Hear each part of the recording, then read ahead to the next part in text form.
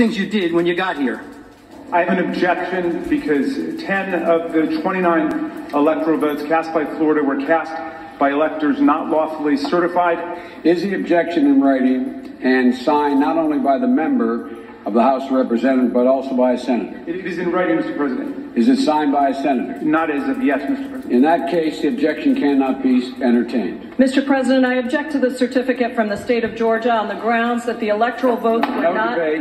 There's no debate. And I object to the certificate uh, from the state of North Carolina based on violations of the Voting is Rights no Act debate. and There's no concerning debate action by in the Russian joint government. session. I object because people are horrified by the overwhelming evidence. Section 18. Title 3 of the United States Code prohibits debate. Um, I object. objected to the counting of the electoral votes of the state of Ohio. I object to the certificate from the state of Alabama. The electors were not lawfully certified. I object to the 15 votes from the state of North Carolina because of the massive voter suppression and the closing There's of voting polling booths There's in no early debate. voting There's no from debate. 16 There's to 1, no debate. and the massive The voter suppression that occurs to The African Americans. gentleman will suspend.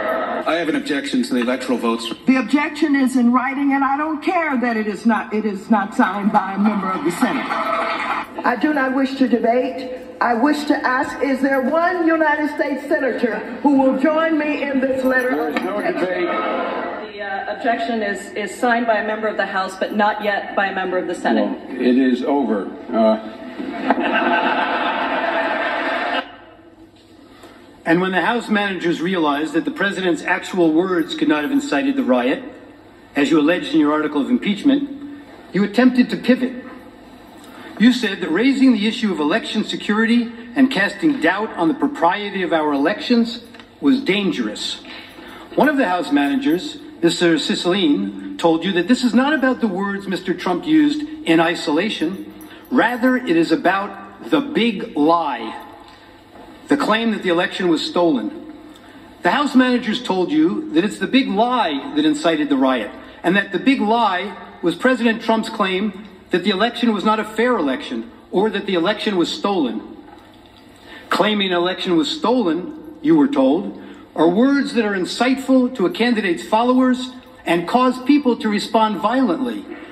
Claiming an election was stolen or not legitimate is something that a candidate should never do because he or she knows or should know that such a claim and such words can actually incite violent insurrection, you were told. Well, it seems that the House manager's position must be actually a bit narrower than that.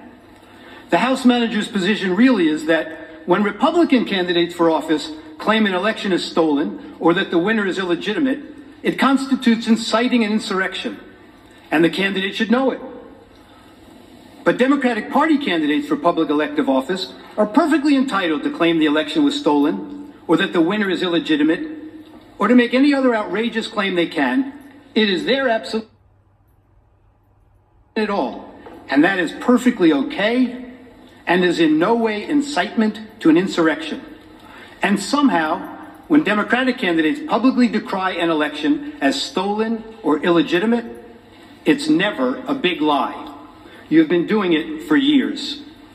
But can you imagine telling your supporters that the only way you could possibly lose is if an American election was rigged and stolen from you?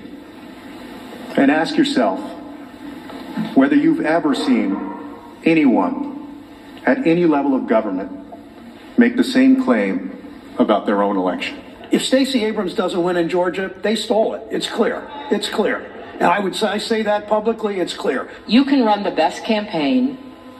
You can even become the nominee.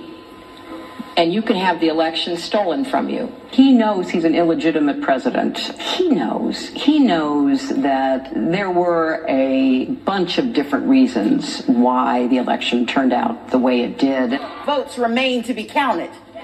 There are voices that were waiting to be heard. And I will not concede. Respect, and I respect where you're coming from, and I respect the, the issues that you're raising. You're not answering the question. Do you think it I was? am. I, no, do- I, I, what I'm is not doing. You're not using the word legitimate. There are still legitimate concerns over the integrity of our elections and of ensuring the principle of one person, one vote.